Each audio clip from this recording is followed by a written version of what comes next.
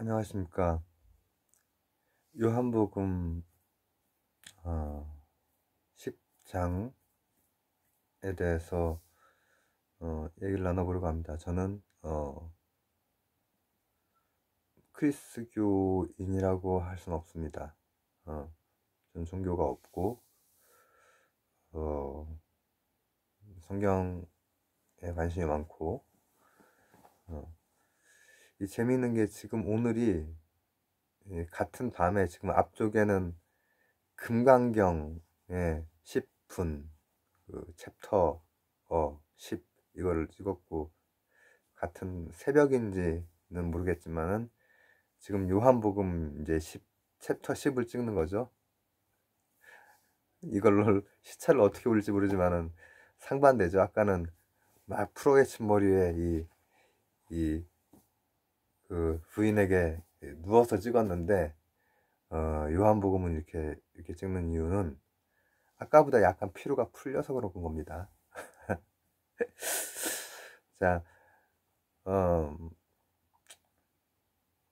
일단 그 요한복음 10장 얘기는 이것도 이제 어, 스토리가 이제 상당히 두 개의 스토리가 어, 같이 엮이면서 또 비유로서도 작용이 되고 또 역사적인 또 어, 어떠한 그 수전절이라고 하나? 그, 이,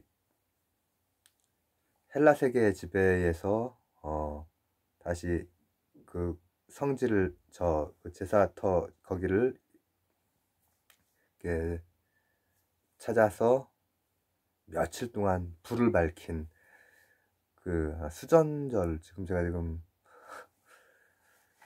제 방에, 제 방에 성경이 지금 어디 있는지 를 몰라가지고. 어쨌든 해보겠습니다. 양, 목, 선한 목자. 예, 늘 보면은 예수님, 어, 많은 그 그림에서 보면은, 어, 딱 그 굉장히 잘생긴 그, 사실 그 유럽 청년의 그 외모에, 어, 이렇게 하얀색 이런 옷에다가, 목자 이런 양들 이렇게 살피시는 그런 그런 이미지가 있으시죠. 근데 이제 바로 요한복음 10장에서 그에 대한 그 예수님의 말씀이 나오시고 그 뒤에 그 수전절에 대한 어 얘기가 나오고 이제 알렉산더 제왕이 알렉산드로스가 어, 완전히 천하통일을 한번 그쪽을 하죠. 그 이스라엘은 이제 늘 언제나 좀 그쪽에 큰 문명들이 많았기 때문에 사실 역사의 대부분 어, 길을 못 피운 도시국가들 중에 하나예요. 대부분의 도시국가들 중에 하나. 근데 그렇게 천하통일을 한번 한 다음에 4분이 되는데 그 4분 되는 것 되는 된 중에서 이스라엘 그 지방에 이제 강력한 그 헬레니즘이 이제 쫙 퍼졌기 때문에 어, 그런 정, 정책으로서 이 제사장이 예, 뭐 그리스 조각을 세운다라든지 이런 것들에 분개해서 이제 그거를 뭐라고 하면 좋을까? 제가 그건, 그건 좀 이따 얘기하겠습니다.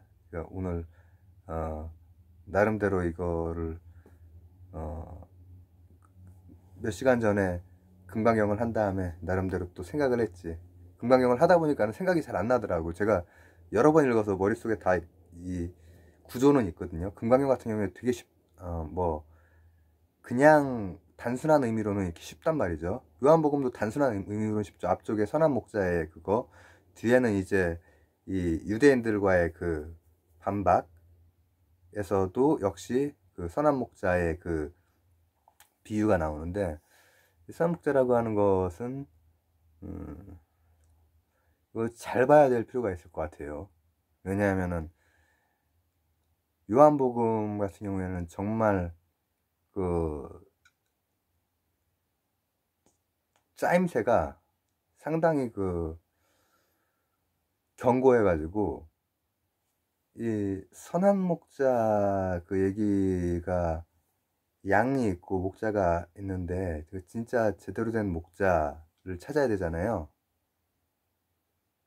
요한복음 같은 경우에도 이제 교회에서 우리 많이 들었는데 저도 15살 때까지 교회를 다녔고 제 주변에도 친척분들이라든지 목회자분들이 많아가지고 예, 들으면은 이제 선한 목자를 찾는 거는 이제 어떻게 찾아야 되냐 목자가 목사 뭐 목회자 또 이런 또 그런 어, 뉘앙스도 있고 해가지고요 어, 그러면은 선한 목자와 양은 서로를 바로 알아본다라는 거죠 그래서 뭐하고는 다르냐면 사꾼이나 도둑이랑은 다, 다르다라고 하는 거예요.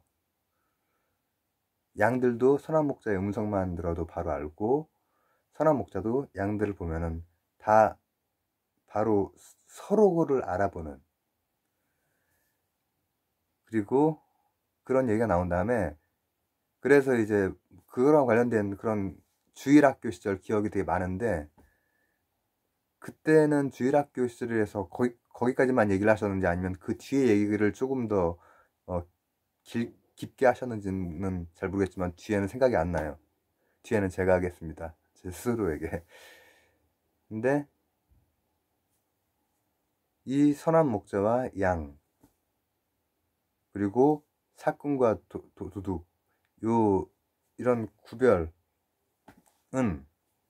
문을 통해 가는 건 선, 선한 목자라는 거예요. 문을 통해서 정상적으로 이렇게 양들을 이렇게 어, 이렇게 하고 그 다음 이렇게 다시 넣고 이렇게 하는 거는 선 문을 통해서 하는 것은. 근데 도둑이나 사꾼은 그 문 자물쇠 그 열쇠가 없을 거 아니야. 물타리 뛰어넘어 가지고 하죠. 요거는 요거는 가짜라는 거죠. 요거는 선한 목자가 아니라는 거죠. 게다가 일이라든지 뭐 늑대 뭐 이렇게 나올 때 어, 선한 목자 같은 경우와는 달리 이 각자 가짜들은 어, 도망을 가는 거지.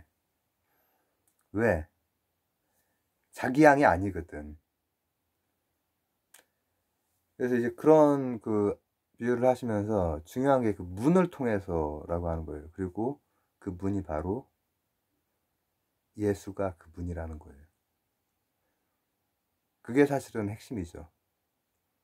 요한복음을 이제 제가 아, 주일학교 수준 그 이후에 읽고 해석할 때 가장 다가왔던 다가오면서도 어렵고 한 부분이 바로 그 문이라고 하는 거예요. 유에는 되게 많은 것들이 함축이 되어 있단 말이에요.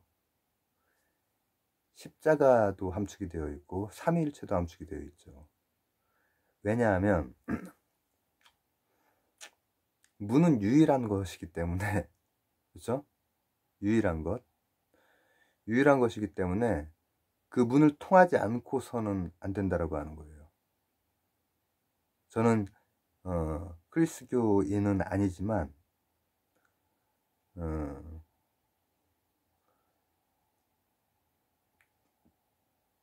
정말 뭔가 이렇게 사람이 거듭나고 할 때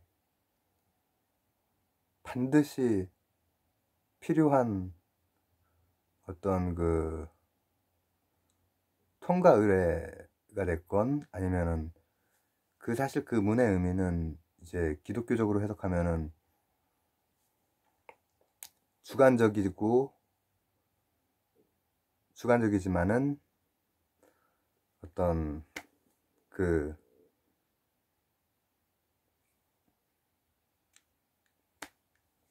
성령을 만나는 체험이겠죠. 근데 그 문을 통해서만 음, 그 안에는 일단은 그 십자가 십자가를 통하지 않고서 불가능하잖아요. 크리스교에서는 그리고 그 십자가를 통해서 되는 이유는 삼위일체이기 때문이고요. 십자가가 구원일 수 있는 이유는 삼위일체이기 때문이에요. 성부, 성자, 성령이 이제 같기 때문에 바로 그 문제가 바로 뒤에 나오거든요. 유대인들과의 얘기에. 근데 제가 말씀드렸듯이 종교는 없지만은 와, 나 완전히 어, 내가 지금 아까 누워서 그 금강경 얘기를 할 때는 너무 조금 불경스럽게 얘기를 한 것 같은데 불경에 대한 얘기니까. 죄송합니다. 불자님들에게. 이거 지금 말장난할 그런 게 아닌데 제가 지금 어, 이게 조금 더 조심스럽게 무의식적으로 나오는 건지 모르겠는데 성경에 대한 게 불도라고 해도 불성이라고 해도 어 아무렇게나 그렇게 어떤 친척이 이루어지고 이러는 건 아니라고 제가 생각이 들어요. 그 양 그 우리의 문처럼 정말 방향을 잘 잡고 집중하고 기도하고 뭐 수행하고 하지 않으면은 통할 수 없다. 근데 그 예수님 그 선한 목자의 그 비유 중에서 아 선한 목자를 우리가 어떻게 찾아내느냐 이런 것들이 이제 많이 남아 있어요 기억에. 서당계 3년이면은 막 풍어를 웃는데 이제 주일학교 한 15년이면은 굉장히 많은 것들이 남아 있죠. 근데 굉장히 다 피상적인 것들만 남아 있어요 사실 그때 그때 당시에 남아 있는 것들은. 그래서 어, 오 진짜 맞는 말이네. 어린 시절에 이제 생각했던 거. 진짜로 도둑과 사꾼들은 그렇게 걸러낼 수가 있겠네. 문으로 안 들어오겠네. 그러니까는 좋은 목회자를 찾거나 아니면 제대로 된 교회를 찾거나 할 때 이게 도둑인지 사꾼인지 보려면은 제대로 된 문을 통과하느냐 예수라고 하는 이게 핵심이겠구나. 근데 조금 이제 지금 조금 더 많이 나한테 저에게 다가오는 것은 그 문이 아니고서는 안 되는 꼭 통과해야 되는 꼭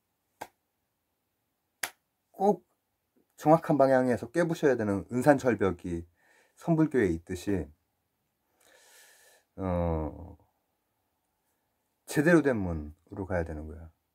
근데 이제 그런 말을 하다 하고 있으니까는 유대인들은 다 이제 시선이 곱지가 않거든요. 예수 선생님한테. 그래서 또 이제 그 어, 의문을 제기하는 거죠. 어, 마음에 안 들어. 마음에 들질 않아. 자기가 뭐라도 되는 것처럼 얘기를 막 듣다 보면은 결국은 자기라고 하는 문을 통해서 가야 되고 그 자기가 문일 수 있는 것은 사실은 하나님의 아들이기 때문인 거거든요. 그러니까 이게 그때 당시에는 크리스교가 없잖아요. 유대교잖아요. 유대교의 랍비가 그런 얘기를 하고 있는 거예요, 지금. 랍비 교육도 안 받은 사람이. 뜬금없이 나타난 어떤 젊은이가. 그러니까는 유대인들 입장에서는 우리가 유대인 입장도 생각해 보는 거야. 그러다 보면 유대교 입장도 좀 생각을 해볼 수 있을지 몰라요. 유대교 입장에서는 왜냐하면 유대교나 이슬람교에서는 크리스교에 대해서 어, 예수님을 인정하지 않는 건 아니지만은 선지자로서만 그냥 훌륭한 분으로만 인정을 하잖아요. 그렇기 때문에 크리스교 입장에서는 나머지랑 물과 기름처럼 이렇게 할 수밖에 없고 근데 이제 어 그럼에도 불구하고 크리스교가 이 세계 종교가 되고 한 데는 이 굉장히 어 뭐라고 하면 좋을까 예수와 그 예수 이후에 예수의 실천과 예수 이후에 그 교리 이런 것들이 결합이 돼서 이제 된 건데 요한복음 10장 내용 자체가 그 모든 것을 포괄하고 있다라고 봐도 될 정도로 실천과 교리와 이런 것들이 어, 아주 함축되어 있죠. 그렇게 돼서 갑자기 돌을 짱돌 들고 이제 쳐 죽이려고 막 여기저기서 막 이러고 있었나 봐요. 거기 묘사된 장면으로 이제 그렇죠. 그러면서 이제 수전절에 대해서 밝게 한번 설명해 달라. 그래서 이제 여차하면 이제 날아가는 거야. 근데 예수님은 거기에 대해서 수전절이란 저처럼 설명하지 않죠. 알렉산더 대왕 이후로 어, 4분이 된 다음에 헬라의 어, 문화의식 의 그 전통이 이제 굉장히 헬레니즘 시기에 강했으니까 그걸 하는 과정에서 이스라엘의 그 기존의 전통을 굉장히 무시하는 문화적으로 무시하는 그런 행태에 대한 대응으로 나온 그리고 거기에도 역시 어 8일인가 저 지금 용어들이 지금 헷갈려가지고 자신이 없는데 이 날짜도 지금 헷갈립니다. 8일인가 등불을 들고 하는 역시 불 빛이 있어요. 빛. 그 빛으로 그걸 기념하는 어떤 기념일이에요. 근데 예수님이 이제 예수님 시기에서 그게 한 1, 200년 전이에요. 그러니까 알렉산더 그 이후에 또 한 1, 200년이 지나고 또 그 다음에 1, 200년이 지나고 나서 예수님이 이제 오신 거니까. 근데 그거에 대해서 얘기를 하는데 그거에 대해서 제가 한 말 같은 말은 하나도 안 하세요. 너희들은 내 말을 지금 믿지 못하고 있다. 내 양이 아니다. 앞에 했던 게 그대로 다시 한번 나오는 거예요. 자신의 양은 자신을 믿지만은 자신의 양이 아니면은 자신을 안 믿죠. 이 사꾼이라든지 도둑인 경우에 양이 안 믿잖아요. 근데 선한 목자인데 그 선한 목자의 양이 아닌 양은 믿질 않죠, 당연히. 앞쪽에 이제 한참 했던 말이 그 얘기란 말이죠. 그러고 나서, 음, 얘기하시는 게, 내가 이러이러하게 실천을 하고 있고, 이 수막절이 바로 성전이 더럽혀지는 거에 대해서 강하게 예수님의 제가 9장인가 8장에서 얘기했듯이 예수님의 이미지 오른뺨을 때리면 왼뺨을 하고 이런 이미지만 있는 것이 아니고 성전을 뒤엎으신다든지 막 뭔가 외치신다든지 이런 이미지도 있단 말이에요. 근데 성전을 뒤엎으심이 바로 그 수전절과 같은 같은 맥락 의미상으로 같은 그런 실천을 하셨던 거죠. 근데 이 실천, 행동을 보지 않고 뭔가를 들으려고 해. 유대인들은. 거기 꼬투리를 잡아서 이제 돌 던지려고 하는데 이렇게 믿지 못하고 내 실천이 나이지 내 말이 내가 아니지 않느냐. 근데 이제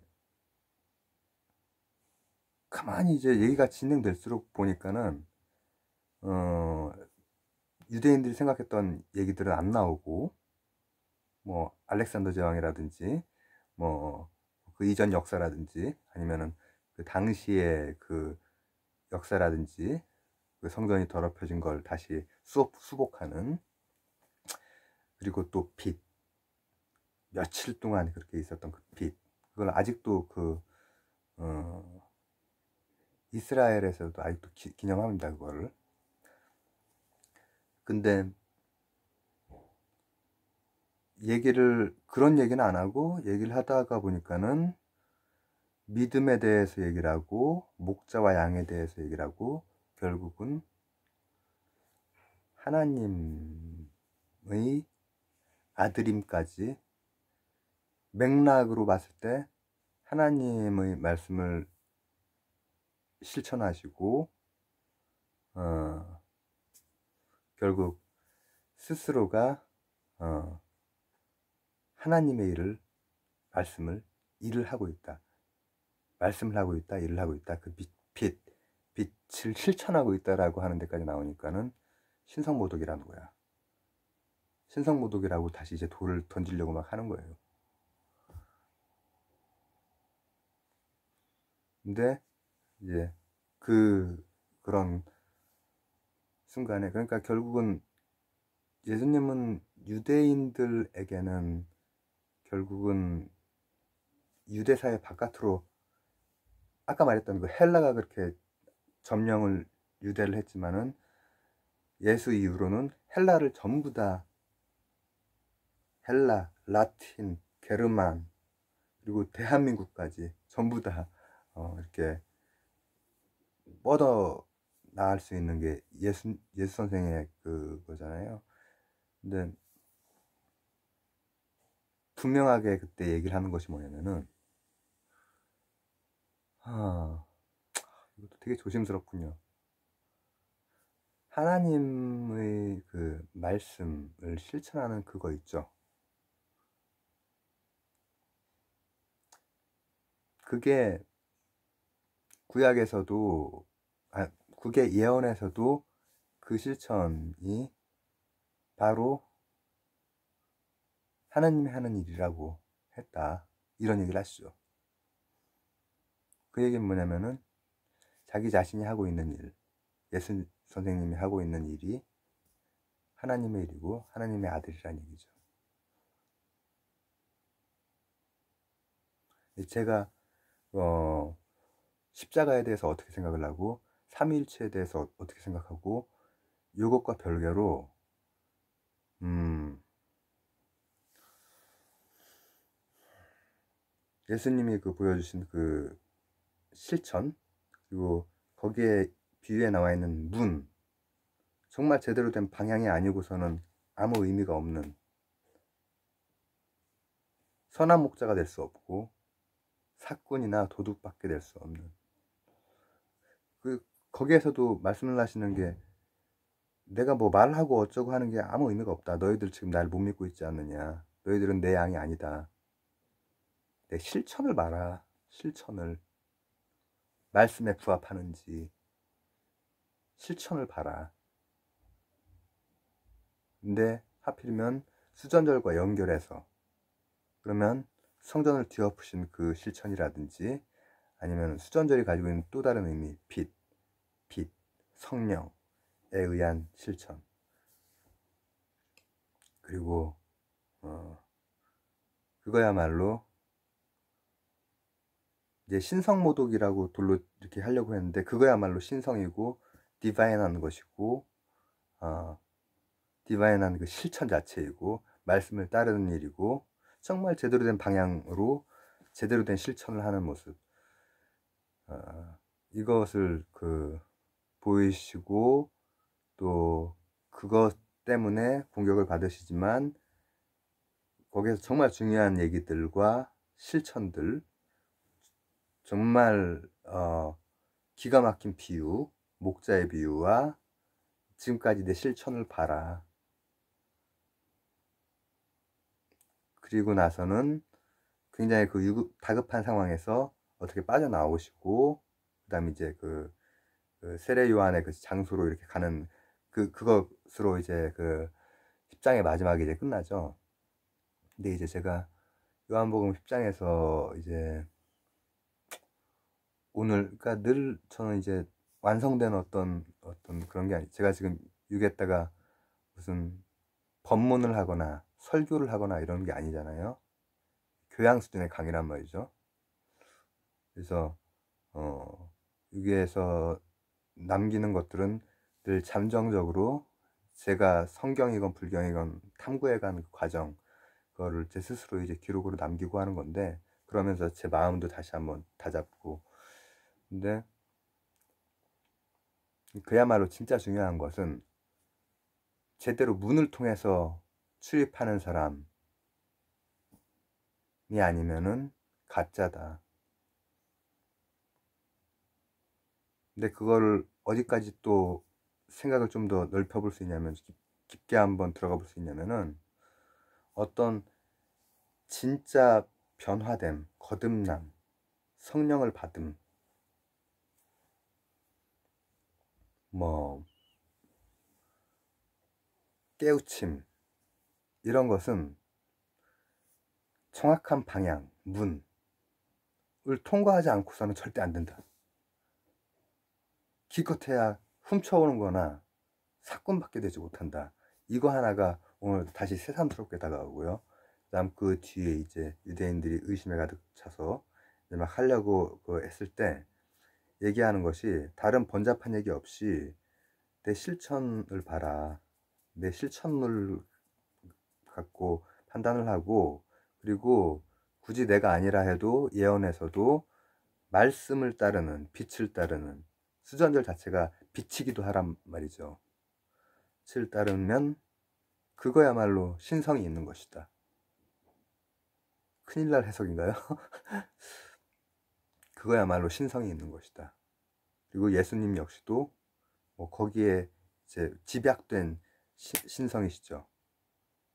그리고 최소한 이제 하느님의 아들로서 어, 요한복음에 이제 요한복음이 삼위일체를 거의 십자가의 십자가 구원과 삼위일체 이 두 개가 이제 크리스교의 아주 너무나 어려운 문제인데 요한복음에서 이제 그 아주 철학적으로 1장부터 해서 해결이 되지만은 지금 여기에 그 문 십자가로 볼 수 있죠. 정말 제대로 된 정확한 방향이 필요하고 예수라고 하는 십자가 구원 속죄양을 통한 대소굴려에서 왔잖아요. 그래서 이제 거기서 나오는 지금 또 갑자기 구절들이 막 생각이 나네. 어, 나는 내가 버릴 수도 있고 취할 수도 있고 자신의 그 이 운명을 그럴 수 있는 자다 하니까는 막 또 들고 일어서는 거야. 신성 모독이라 이거야. 당신이 무슨 신이라도 되냐 이거야. 삼위일체면 신이죠. 신성이 있으니까 말씀을 따르고 있으니까.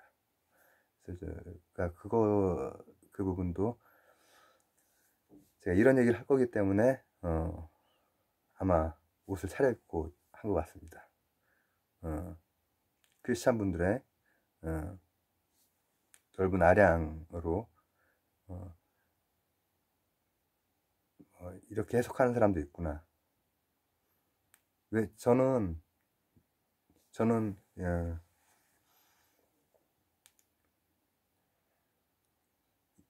제가 최근에 그 전우원 씨가 이렇게 성경 이렇게 하는 걸 많이 듣거든요.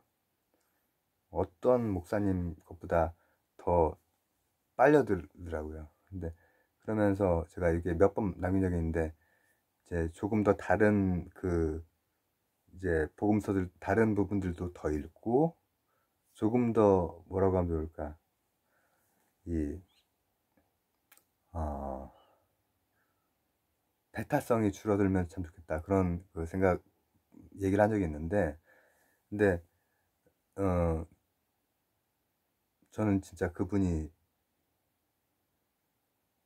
아주 평범하고 발랄한 그 젊은이로 돌아가고 일상으로 돌아가고 그런 거를 더 바라긴 하지만 만약 목회자가 된다면은 그렇게 됐으면 좋겠어요. 왜냐?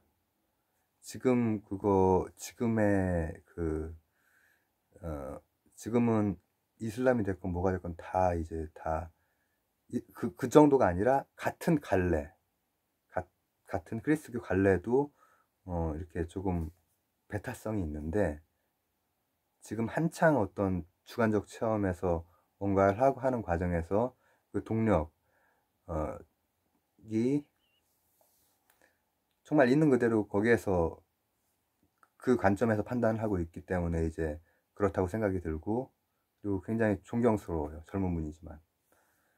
뭐 한 스무 살 가량 젊은 분이시지만 많이 배워요.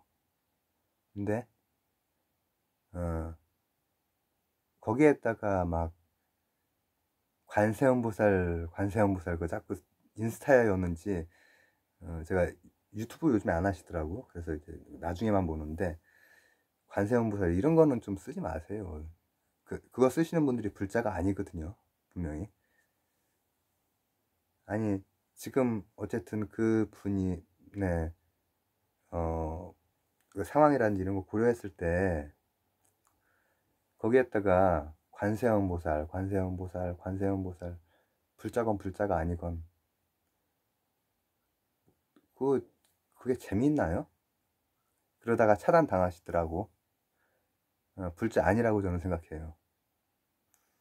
거기에 보면은 이를테면은 다른 그 한 번은 킹준석 해가지고 막 계속 이상한 소리 하는데 그 안티 이준석일 거라고 생각해요.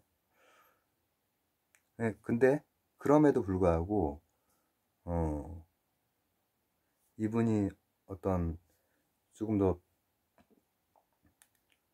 어느 누구라고 해도 종교가 있건 없건 다른 종교건 뭐건 간에 어느 누구라고 해도 귀 기울일 수 있는 지금 이미 귀 기울일 수 있는 그런 힘이 있어요. 그 젊은 분인데. 왜냐면 실천이랑 실천이 뒷받침이 되는 분이니까. 오늘 한 얘기도 그 얘기가 들어가잖아요. 실천을 가지고 판단하라고 얘기를 하시잖아요. 예수님이.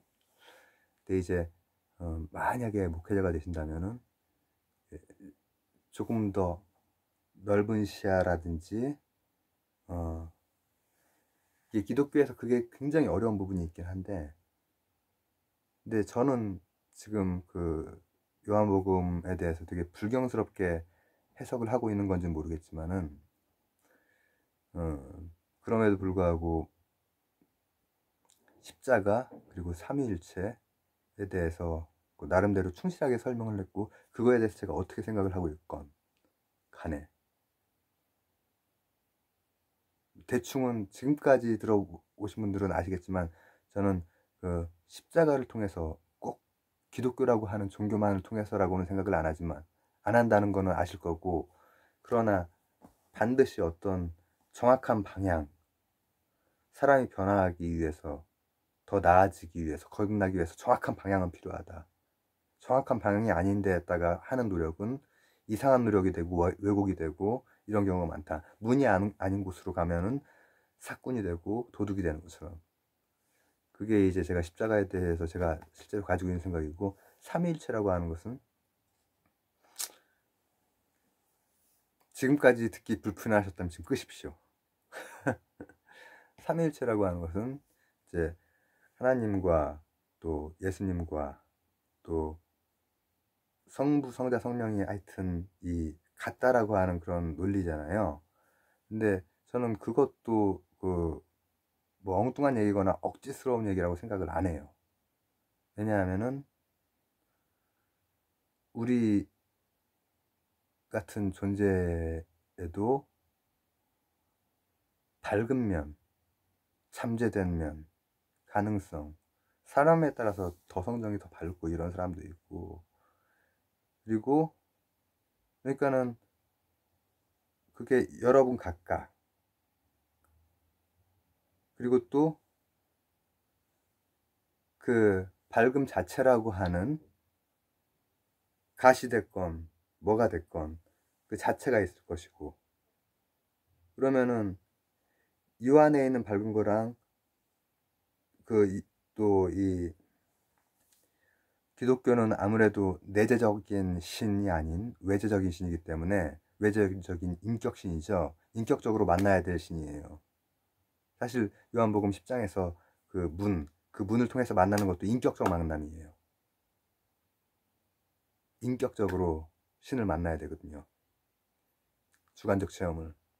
근데 저는 이제 그렇게는 생각을 안, 그렇게만이라고는 생각을 안 하죠. 제가 만약에 그 체험을 하게 되면은 달라질 겁니다. 달라지지만 저는 여기에다가 성경을 얘기해도 설교로 얘기하지 않을 거예요. 강의로만 하지. 혹시 내가 그런 체험이 있어서 성직자가 돼, 목회자가 되거나 아니면 머리를 깎고 불자가 돼. 그래도 제 개인적인 체험이라든지 물리학적인 법칙 벗어난 거 전혀 얘기 안 할 겁니다. 얘가 길어지네? 뭐, 결론하듯이. 그래서 이 3일치라고 하는 것도 우리 같은 개체, 우리 같은 그냥 이런 사람들이 굉장히 굉장히 그 속속에 살지만 성스러울 수 있잖아요. 그리고 그 추상화된 어떤 그러나 또 인격신이기도 한 저는 인격신에 대해서는 잘 모르기 때문에 그러나 이 우주 자체의 어, 신성성에 대해서는 저는 신이 있다면 그게 신이라고 저는 생각을 하거든요. 그리고 어, 3일일 때는 나 이거 못 올릴 것 같은데 이렇게 오래 찍었는데 이 노동을 못 올릴 수도 있겠습니다. 아까 그것도 지금 아까 그것도 사실 불경스러운 것 같아가지고 지금 올려놓았는데 새벽에 슬쩍 키던지. 이것도 나중에 슬쩍 키던지 해야지. 성부, 성자, 성령 이 세 가지 삼위일체가 결국은 음, 내 안의 신성. 굉장히 이슬람교의 수피즘적인 것이기도 하고 크리스교의 에크하르트라고 하는 도미니칸 어, 그 수도회의 그분 이제 처형당하신 분이시지만 이단으로 몰려서 내 안의 신성성과 하나님과 그리고 그 만남 삼일체를 그런 식으로 이제 해석을 하기도 하거든요. 근데 그 만나면 그 신성성 빛이라고 하는 그 연결고리 그 문이 아니고선 안 돼. 그 상징이 예수님인 거죠. 예수 선생.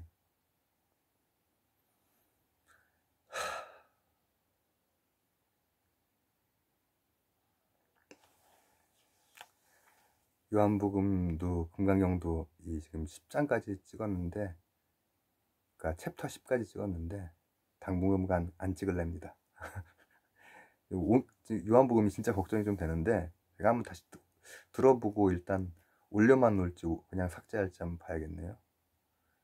근데 제가 가지고 있는 생각을 여기에다가 한번 이렇게 남겨놓는 것도 의미가 있을 것 같았어요. 제가 앞으로 어떻게 변할지 모르잖아요. 제 생각에 저는 죽을 때까지 물리학적 세계관을 가지고 불경 보고 성경 보고 이럴 것 같지만은 갑자기 막 완치가 된 다음에 머리 깎고 절에 들어간다거나 완치가 된 다음에 신학대에 가서 목회자가 될 수도 있어요. 근데 그때도 제가 미리 얘기해 놓는 거예요. 제가 그런 기적을 이런 불치병에서 완치되는 기적을 내가 맛봤을 때는 뭔가 주관적 강력한 체험이 있을 거예요. 그게 뭐 불도에서 말하는 어떤 강력한 깨침이 될지 아니면은 크리스교에서 말하는 인격적인 신과의 만남이 될지 몰라요. 그러나 저는 그렇게 어, 종교인이 된다고 해도 여기다가 법문을 하거나 설교를 하거나 하진 않고 똑같이 요한복음 강의할 거고 금강경 강의할 겁니다. 절이나 교회 쪽에서 둘 다 싫어하시겠구나.